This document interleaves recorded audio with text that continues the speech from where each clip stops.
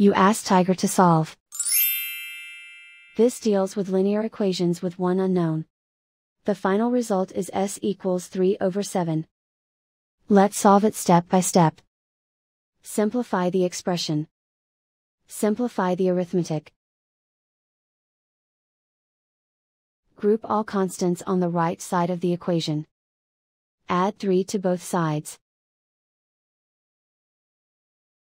Simplify the arithmetic.